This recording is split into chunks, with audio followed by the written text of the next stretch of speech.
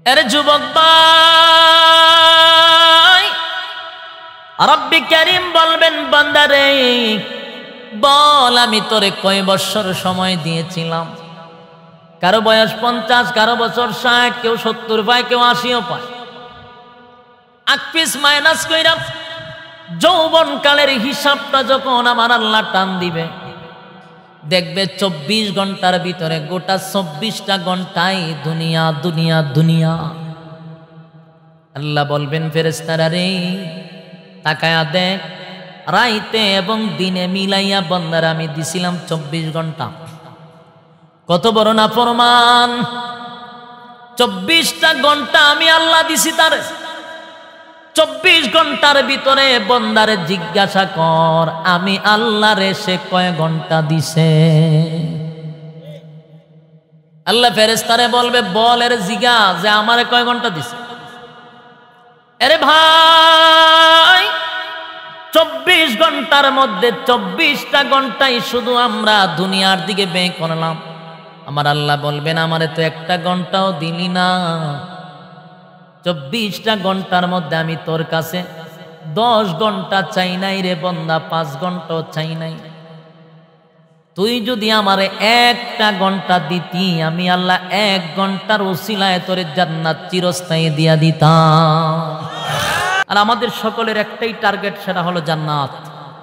নাকি? অন্য কোনো টার্গেট আছে? একটাই টার্গেট থাকতে হবে, সেটা হলো জান্নাত। আমাদের যাত্রাও কিন্তু জান্নাত থেকে শুরু। জানেননি আপনারা? অনেকেই জানে না। আমাদের যাত্রা শুরু জান্নাত থেকে। আমরা সকলেই আসছি জান্নাত থেকে। যাত্রাটা শুরু জান্নাত থেকে। কিন্তু আমাদের পরিসমাপ্তি কোথায় হবে? এই টার্গেট আমাদের সকলের থাকতে হবে। আসার রাস্তা কিন্তু একটা, কয়টা? যাওয়ার রাস্তা কিন্তু দুইটা। রাস্তা কয়টা? আসার একটা যাওয়া। এখন আপনি সিদ্ধান্ত নিবেন আপনার পরিসমাপ্তিটা কোথায় হইতো? জান্নাতে না জাহান্নামে? কতই কয় না।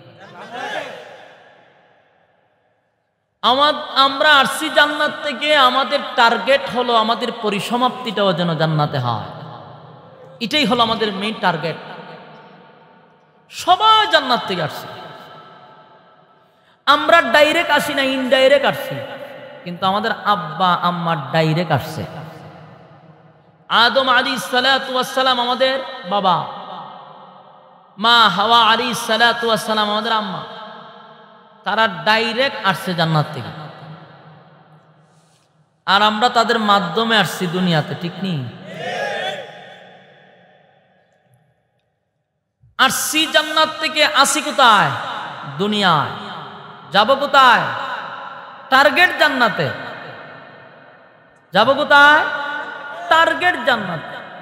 এখানে যাওয়ার রাস্তা তো দুইটা। দুটা রাস্তার চলার স্বাধীনতা রাব্বি করিম আমাদেরকে দান করছে এখন প্রশ্ন, হুজুর, আসছি জান্নাত থেকে দুনিয়াত আইলাম কেন?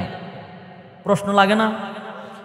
জান্নাতে ছিলাম, মা ছিল, বাবা ছিল ওখানে আমরা থাকতাম, তারা সন্তানা দিয়ে আমরা এখানে ঘোরাফেরা করতাম? এই দুনিয়ার বেজালো কেন আসছি? প্রত্যেকটা জিনিসেরই কষ্টের পরে যখন মানুষ সুখ পায়, তখন এটার মূল্যায়ন থাকে। রেডিমেড কোনো জিনিস পাইলে এটার মূল্যায়ন থাকে না, গুরুত্ব থাকে না। ঠিক না? গরিব থেকে যদি কেউ বড় লোক হয়, এটার কিন্তু কদর আছে। জন্মের পর থেকেই সোনার চামচ মুখে দিয়া বড় হয়েছে, এর কাছে এটার কোনো মূল্যায়ন নেই। জান্নাতে যদি আমরা থাকতাম, আমাদের বাবা মা জান্নাতে ছিল আমরা জন্ম জান্নাতে তো, তাহলে এটার মূল্যায়নটা আমরা বুঝতাম না। এটার গুরুত্বটা আমরা বুঝতাম না। তাই আল্লাহ জান্নাত থেকে আমাদেরকে দুনিয়ায় পাঠাইছেন। কেন পাঠাইছেন সেটা হইল আমাদের জানার বিষয়। বলুন, জানার দরকার নেই। জান্নাত থেকে দুনিয়ায় আসছি, কেন আসছি? আল্লাহ বলেন, আমি দুনিয়া পাঠাইছি একটাই কারণ, সেটা হলো পরীক্ষা নেওয়ার জন্য। কি নেওয়ার জন্য? এখানে আমরা পরীক্ষা দিতে আসছি। সব মানুষ পরীক্ষা দেওয়ার জন্য দুনিয়ায় আসছে। আল্লাহ পরীক্ষা নেওয়ার জন্য দুনিয়াতে আমাদেরকে পাঠাইছেন। কিসের পরীক্ষা? যোগ্যতার পরীক্ষা? জানলে কত জ্ঞানী। আপনার যোগ্যতা জানার জন্য আল্লাহ পরীক্ষা করবে? না। আল্লাহ তোমার আমলের পরীক্ষা করবে। তুমি জান্নাতের যোগ্য না জাহান্নামের যোগ্য? প্রশ্ন আরেকটা আছে। হুজুর, আল্লাহ তো অতীত জানেন, বর্তমানও জানেন, ভবিষ্যতও জানেন। আল্লাহ তো এটা জানেনি আমরা জান্নাতে পামো না জাহান্নাম পাবো এটা তো দুনিয়া পাঠাইয়া পরীক্ষা নেওয়ার দরকার হয় না। কথা বলেন ঠিক আল্লাহ তো আমাদের ব্যাপারে জানে যে আমি দুনিয়াতে হ্যাঁ হাম কুহাম করুম না, ভালো কাজ করব। তাহলে পরীক্ষা নেওয়ার জন্য দুনিয়াত পাঠানোর প্রয়োজনটা ছিল না, আল্লাহ ওইখানে রেখে আমরা একটা ফয়সালা করতে এটাও সম্ভব ছিল, সম্ভব না? জানে আল্লাহ। কিন্তু ওইখানে রেখে যদি আপনারা বলতে বলে, রে, তুই দুনিয়াত গেলে আহাম কুহাম করতে, তোর ফাঁপ অনুযায়ী তোরে জাহান্নামও দিয়া দিছি। আর তুই দুনিয়াত গেলে ভালো কাজ করতে, এই জন্য তোরে জান্নাত দিয়া দিছি। এই কথা বললে মানুষ এটা মাইনা নিত। মানুষ প্রশ্ন করতো, আল্লাহ, গেলামই না। আপনি বললেন আমি জাহান্নামি, তাই জাহান্নামও দিয়া দিলেন। আমি দুনিয়াত গেলামই না, আমার জান্নাতে দিয়া দিলেন। আল্লাহ বলেন, এমন প্রশ্ন যেন কেউ না করে তার কৃতকর্ম দেখে সেই যেন বুঝতে পারে যে আসলে আমি জাহান্নামি। জাহান্নামি হওয়ার যোগ্য। টু শব্দটা যেন না করতে পারে। আল্লাহ আগেই তোমার ব্যাপারে জানে, এরপরও দুনিয়াত পাঠাইছে। তোমার পাপটা তুমি নিজের মুখে স্বীকার করবা। এলে দুনিয়াত পাঠাইছে। আর এমন এক পরীক্ষা দিতে আসছি, যেটার প্রশ্ন আগেই আল্লাহ আউট করে দিছে। চমৎকার পরীক্ষা না? আমরা যখন পরীক্ষার দিতে যাই, আমাদের প্রশ্নকে আগে কেউ দেখায়? না, পরীক্ষার ভিতরে হলে ঢুকলে পড়ে, তারপরে অনেকক্ষণ পড়ে। স্যারের প্রশ্ন নেই দিয়ে দিয়ে যায় যায়, ঠিক নেই? এরা কিন্তু আমরা জানি না। তখন অনেকে দিকে সভ্য না এই সাবজেক্ট তো পড়ছি না, এটা তো দেখছি না। এই ভিতরে একটা গন্ডগোল সৃষ্টি হয়, ঠিক নেই? কিন্তু আল্লাহ বলেন, আমি পরীক্ষার হলে দিয়া ওই প্রশ্ন আউট করে দিছি। প্রশ্ন তোমাদেরকে আগেই জানাই দিছি। এখন খালি তোমরা শুরু করে দিবা। আমি প্রশ্ন আউট করে দিছি, এরপরে পরীক্ষা দেওয়া এর থেকে সহজ আর কিছু হতে পারে।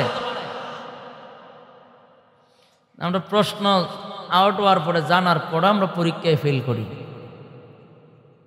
আল্লাহ আমাদের জন্য পরীক্ষা কঠিন করে নাই, বরং সহজ করে দিয়েছে, ঠিক? দুনিয়ার পরীক্ষা বড় কঠিন আল্লাহর পরীক্ষা একেবারে সহজ।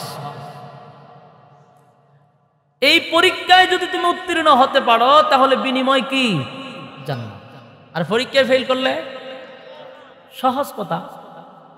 এখন আপনারাই বলেন, এখানে যারা আসছে, আমরা সকলেই জানি কোন কাজ করলে আমরা জাহান নামে যাব। এটা জানি না? কথা হয় খাওয়া যে হারাম, পাপ, এটা আমরা কেন সবাই জানি না? এরপরে কি মানে সুদ খাওয়া বন্ধ করে? তাহলে বোঝা গেল প্রশ্ন জানি নাও সে কাজ করে। নামাজ না পড়লে যে পাপ, আমরা যে জাহান নামে যাব, এটা আমরা জানিনি। জানার পরে অনেকে নামাজ পড়ি না, ঠিক? তাহলে প্রশ্ন তো আমি জানি কি করা। এরপর আমি করি না। সহজ পরীক্ষা, কিন্তু আমরা মানুষ ফিল কইরা জাহান নামে যাইতেছি। এই জন্য আসুন। টার্গেট যদি জান্নাত থাকে, তাহলে অবশ্যই এই টার্গেট ফিল আপ হবে, ইনশাআল্লাহ। তো টার্গেট থাকতে হবে না। টার্গেট থাকতে রব্বি করিম বলেন, এই পরীক্ষায় যদি উত্তীর্ণ হতে পারো, তাহলে আমি আল্লাহ রব্বুল আলমিন তোমাদেরকে জান্নাত নামক নিয়ামত দান করব। যদি পরীক্ষায় ফেল করো, তাহলে কিন্তু রাস্তা আরেকটা আছে এই জন্য দুনিয়ার চলা অবস্থায় দুইটা রাস্তার স্বাধীনতা রব্বি করিম আপনি এবং আমাকে দিছে গভীর রজনীতে যদি আপনি তাহাজ্জত নামাজ পড়ার জন্য উঠেন কেউ আপনারা দৈরা রাখে পিছন দিয়া। বলে, ফরিস না নামাজ। কেউ আপনাকে বাধা দিচ্ছে না। গভীর রজনীতে যদি আপনি চুরি, ডাকাতি বদমাসি করার জন্য উঠেন, আপনারা কেউ বাধা দেয়। তাহলে বোঝা গেল, দুনু কাজেরই স্বাধীনতা আছে, কেউ আপনাকে বাধা দিবে না। কেন দিবে না? পরীক্ষা চলতেছে। যেটা বলুন, কেন বাধা দিবে না? পরীক্ষা চলতেছে। পরীক্ষা চলতেছে, এই জন্য আমাদেরকে বাধা দেওয়া হয় না। দেখবেন আমাদের সমাজে সুদ গুড় জেনা, বেবিচার, ঘুম, হত্যা, তারপরে জুলুম, নির্যাতন যা আছে সব করতেছে। আবার বড় বড় কথাও বলে, আমি করছি, কি হইছে? পারলে আমার টেকা, বলেনি? হ্যাঁ পারলে বলিস আমার টেকাই তো। তোর কে আছে বল আমার টেকানোর জন্য। এরকম ক্ষমতাও দেখা। আমার কি হয়েছে এখন প্রশ্ন হইল তুই পরীক্ষার হলের ভিতরে থাকতে বড়, ওরা শিক্ষার মারতা যাস যে আমি তো গুম, হত্যা, জেনা, বেবিচার, ফাঁপের এমন কোনো রাজ্য নাই যে আমি শেষ করছি না, কিন্তু আমার তো কিছু হইতেছে না। ঠাডাও তো পড়ে না। আমি তো মরিও না। তোর থেকে ভালো চলতেছি। এরকম অনেকেই কথা বলে। এখন তার উত্তরটা কি?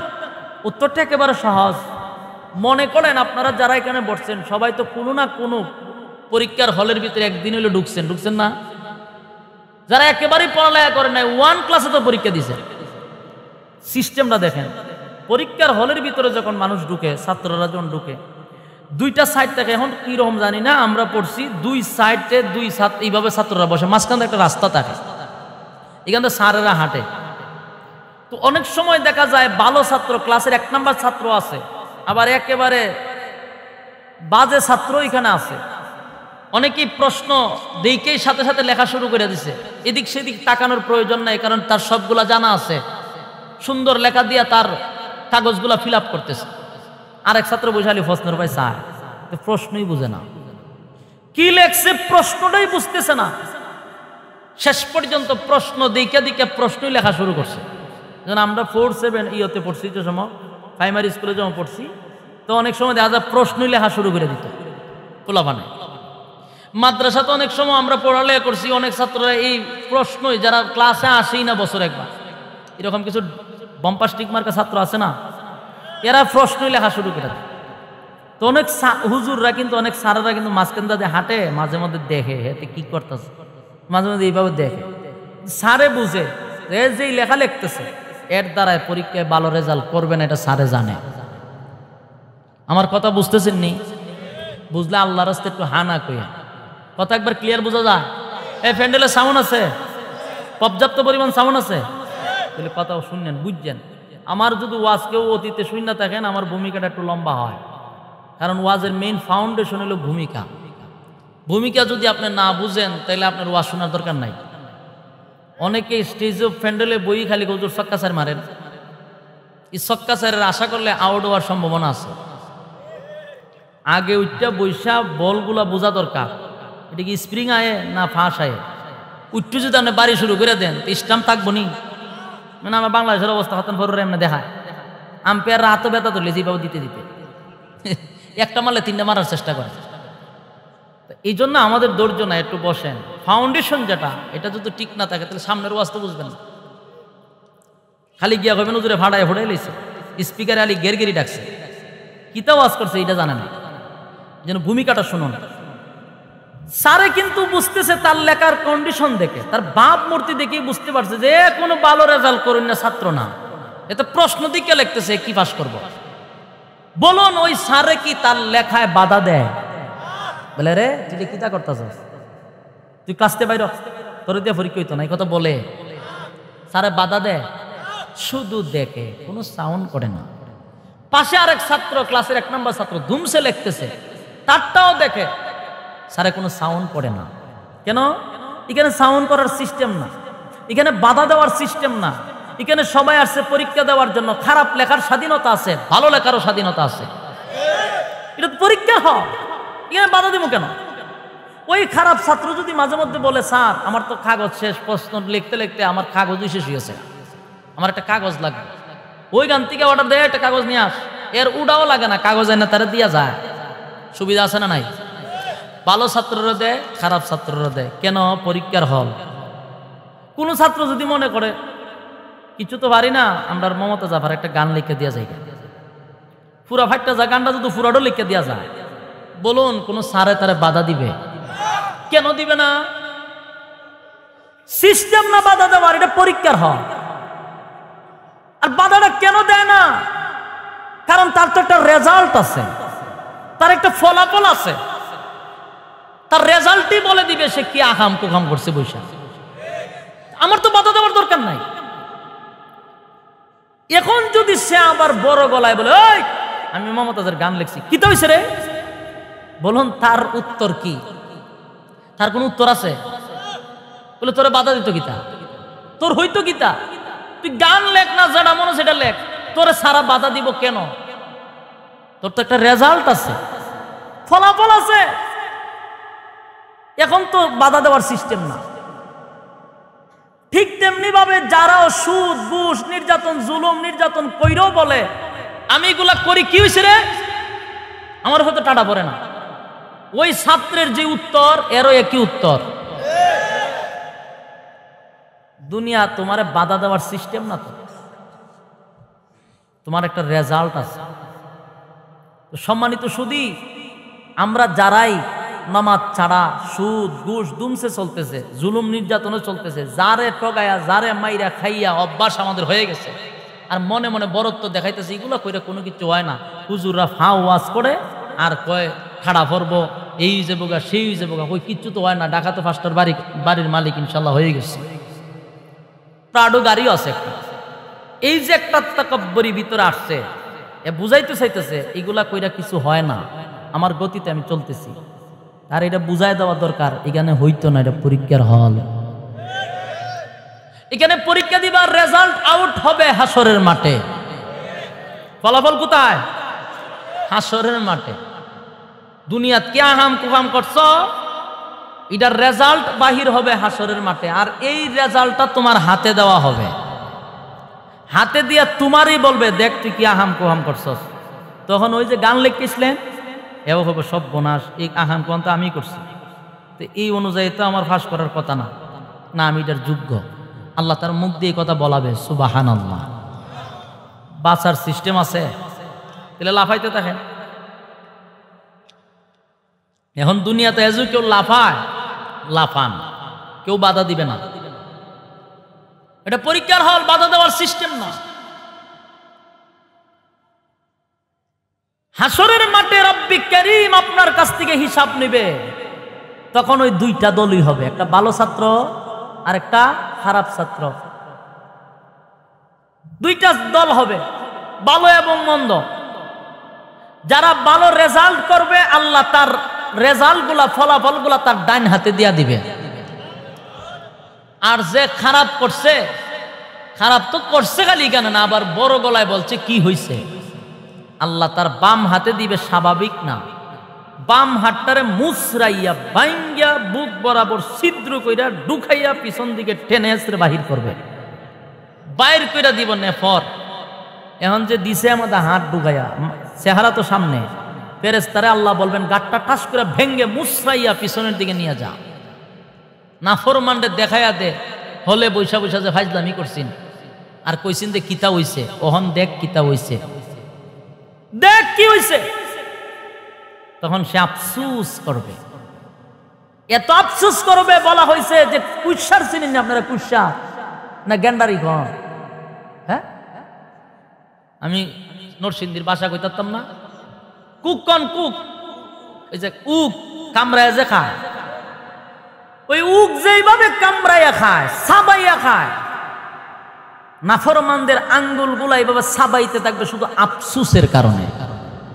বলে, হায় আফসুস হায় আফসুস, ষাটটা বছর কোথায় সরায়? আফসুস করবে, এইভাবে চাবাইবে আর বলবে, আমি কি করলাম? আমার এই ষাটটা বছর যদি আমি আল্লাহর হুকুম আর রাসুলের তরিকা অনুযায়ী কাটাইতাম, তাহলে আজকে আমার এই পরিণতি হতো না। আজকে আমি ডাইন হাতে রেজাল্ট লইয়া হাসতে হাসতে জান্নাতে যাইতাম। মানুষ আফসোস করে আরে ভাই, সেদিন আফসোস করলে কোনো লাভ হইব নি? কথা হয় না। আফসোস করে কোনো লাভ হবে না। মানুষগুলো আফসোস করবে। আল্লাহ রব্বুল আলামিন বলেন, তোর আগে মাইনাস করে মাইনাস। মাত্র যৌবন কালের হিসাব নামে আল্লাহ টান দিব। বালে খাওয়ার আগ পর্যন্ত মাইনাস। একেবারে বার্ধক্যে পৌঁছে গেলে সেটাও মাইনাস করে দিবে। কিন্তু যৌবন কালের হিসাব আল্লাহ নিভে এর যুবক রব্বি করিম বলবেন, বান্দারে, বল, আমি তোরে কয় বছর সময় দিয়েছিলাম? কারও বয়স পঞ্চাশ, কারও বছর ষাট, কেউ সত্তর পায়, কেউ আশিও পায়। আকপিস মাইনাস কইরা যৌবন কালের হিসাবটা যখন আমার আল্লাহ টান দিবে, দেখবে চব্বিশ ঘণ্টার ভিতরে গোটা চব্বিশটা ঘন্টায় দুনিয়া দুনিয়া দুনিয়া। আল্লাহ বলবেন ফেরেস্তারা রে, তাকায়া দেখ, রাইতে এবং দিনে মিলাইয়া বন্দার আমি দিছিলাম চব্বিশ ঘণ্টা। কত বড় না ফরমান চব্বিশটা ঘণ্টা আমি আল্লাহ দিছি তারে। চব্বিশ ঘণ্টার ভিতরে বন্দারে জিজ্ঞাসা কর, আমি আল্লাহরে সে কয় ঘণ্টা দিছে? আল্লাহ ফেরেস্তারে বলবে বলের জিগা যে আমারে কয় ঘণ্টা দিছে। আরে ভাই, চব্বিশ ঘণ্টার মধ্যে চব্বিশটা ঘন্টাই শুধু আমরা দুনিয়ার দিকে ব্যয় করলাম। আমার আল্লাহ বলবেন, আমারে তো একটা ঘন্টাও দিলি না। চব্বিশটা ঘণ্টার মধ্যে আমি তোর কাছে দশ ঘণ্টা চাই নাই রে বন্দা, পাঁচ ঘন্টাও চাই নাই। তুই যদি আমারে একটা ঘণ্টা দিতি, আমি আল্লাহ এক ঘণ্টার ওসিলায় তোরে জান্নাত চিরস্থায়ী দিয়া দিতাম। কিন্তু আমরা তো দুনিয়া। সময় বলে বেচারার নাই, কিন্তু দেখা যায় যে সময় টাচ সেট লইয়া বয় খালি দেখবেন টানে। ফেসবুক টানে, টানতে টানতে টানতে ফজরের আজান পর্যন্ত খালি টানে। কথা কয় না? ফজরের আজান পর্যন্ত টানে। ঘুম নামক নিয়ামতটা আল্লাহ তোরে দিল। সারা রাত ঘুমালি না, খালি ফেসবুকে টানলি। ফজরের আজান দে, মুয়াজ্জিন বলে, সালাতু খায়রুম মিনান নাওম। ঘুম থেকে নামাজ ভালো ওই সময় ফেসবুক তুইয়া বিছানাটা টান দিয়া বলে, নামাজ থেকে ঘুমটা বড় মজার ভালো। আমার আল্লাহ বলেন ফেরেস্তা তাকায়া দেখ, সারা রাত ফেসবুকে সময় দিল, এখন আমি আল্লাহর সময়ের সময় সে ঘুমায়। এগুলা সবগুলি ভিডিও আকারে আল্লাহর কাছে ডকুমেন্ট সহকারে আছে, কোন সময় কত সেকেন্ডে আকাম কোকামে লিপ্ত ছিলাম। সারা রাত ফেসবুকটাই নাও তোমার সময় শেষ হয় না। এর যুবক ভাই, এই দিলের কান লাগায় শুন। হাসুরের মাঠে আমার আল্লাহ বলবেন বান্দারে তোরে তো আমি আল্লাহ চব্বিশটা ঘণ্টা সময় দিয়েছিলাম, বন্দা, তুই তো একটা ঘন্টাও দিলি না। তুই যদি আমি আল্লাহরে একটা ঘণ্টা দিতি ইমাম সাপ ডাক দেয়, আসেন না নমাজে যাই হ্যাঁ উত্তর দে, আমার তো সময় নাই হুজুর। এই যে আজকে মাহফিল হইতেছে, বলুন এলাকার কি সব চলে আসছে? এলাকার সব আসতে পারে নাই। কারণ কি বলে সম নাই। সম নাই সম নাই। কার বেলা সম নাই বলে, আল্লাহর বেলা সম নাই। কিন্তু তার বেলায় সময়ের অভাব নাই। ব্যবসা করে সময় আছে না নাই? বন্ধু বান্ধবের আড্ডায় যায় সময় আছে, চাকরি করে সময় আছে এক মা বাবার সময় আছে স্ত্রী পুত্রের জন্য সময় আছে, আড্ডার জন্য সময় আছে, জি বাংলা স্টার জলচারের দেখার জন্য সময় আছে আইপিএল বিপিএল দেখার সময় আছে, সিনেমা দেখার সময় আছে, সব সেক্টরে বুঝি তোর সময় আছে। সময় নাই বুঝি আমি আল্লাহর বেলা। তবে বন্দা, যাই না রাখ সময় দিছিলাম কিন্তু আমি আল্লাহ। দিছেন কে? আরে, সময় দিয়েছিলাম আমি আল্লাহ। আর এই সময়টাই বুঝি আমারে দিলি না, আমার দেওয়া সময় ভিন্ন কাঁধে ব্যয় করেছিস। একদিন কিন্তু আমার কাছে আসতে হবে। এটা বিশ্বাস হয়নি? কথা হয় না? এই প্রত্যেকটা মানুষ আল্লাহর সামনে দাঁড়াইতে হবে। আপনারা কি মনে করেন দুনিয়ায় আমরা থাকবার লাগাইছি বিদায় হতে হবে না। আমার আগে কেউ রইছে? আমার পরে? আগেও নাই, পিছনে নাই। বাস্তব একটা প্রমাণ হলো আজকের মাহফিলের যিনি আমার দাওয়াত দেওয়ার জন্য সবচেয়ে বেশি আগ্রহ ছিল। বড় কষ্ট লাগে শুনলে পড়ে এই লোকটা আমার দাওয়াত দেওয়ার জন্য বারবার উজুরদের কাছে গিয়া বলছে, আশরাফিরে দাওয়াত দিতেই হবে। যেইভাবেই হোক আমি ওনারে চাই। আবেগ লইয়া মাদ্রাসা পর্যন্ত গেছে। কিন্তু আমি তো দাওয়ার টিকি রাখলাম, বয়ান আপনাদের সামনে টিকি করতেছি। এই লোকটা সাড়ে তিন হাত মাটির নিচে। আরে যুবক ভাই, তোমার কি দিলে বাড়ি দেয় না গো? এখানে ওয়াজ শুই না আগামীকালকে সকাল পর্যন্ত তুমি কি জাগাত থাকবা? এমনও হইতে পারে আজকে এখানে বসা, কালকে সাড়ে তিন হাত মাটির নিচে, ঠিক কিনা এখন যদি এখান থেকে গিয়া বাড়িতে তুমি যাও, মারা যাও, এই পর্যন্ত কি তোমার লাশ রাখব না তাড়াতাড়ি কবর? তাহলে এই জিনিসটা আমাদের ভিতরে কেন বাড়ি দেয় না? আরে যুবক ভাই আমি তোমাদের হাতে পায়ে ধরে বলি, চব্বিশটা ঘণ্টা, চব্বিশটা ঘণ্টার মধ্যে একটা সেকেন্ডও সময় দাঁড়ায়া থাকে না। প্রতি সেকেন্ড যাচ্ছে তো দুনিয়ার থেকে এক সেকেন্ডের জন্য আমরা সরে গেলাম। এই যে আমরা বলি, সময় নাই সময় নাই। এর ভাই, আজরাইল আপনার সামনে এসে যখন দাঁড়াবে, তখন কি আজরাইলকে বলবেন যে আমার সময় নাই?